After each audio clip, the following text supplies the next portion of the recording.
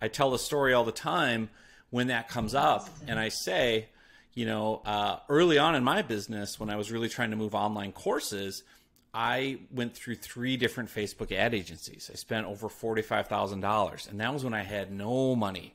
Like I was putting everything on credit cards and leveraging myself month to month, right? I wasn't sitting in comfortable place. I was hustling, right? And I was trying things and investing in my business and learning. And I went through three Facebook agencies, $45,000 and got zero online course sales. Zero. Right? So it's like I have that scar for life of if another Facebook ad agency comes to me and it's like, "Oh yeah, we're gonna get you leads. It's gonna be so easy." I, wouldn't you want to know that uh, ahead of time for me as a prospect coming in? Like, oh, maybe we don't want to talk to you, or okay, John. Well, let's unpack why all your Facebook ads failed in the past. Was it the agencies? Was it the creative?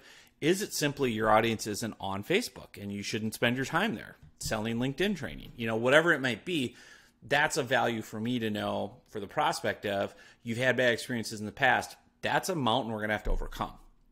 Like that's a real thing because you know, getting deeper into the psychology of this particular objection, when someone has made has had a bad experience in the past, they have in their mind made a mistake or gotten burned or feel burned and they're afraid to make the same mistake again the conversation in their head, just like it would be in mine if I walk, walked up to another Facebook ad agency, I would be thinking in my head, uh oh, are we just going to go down this road again and nothing's going to work?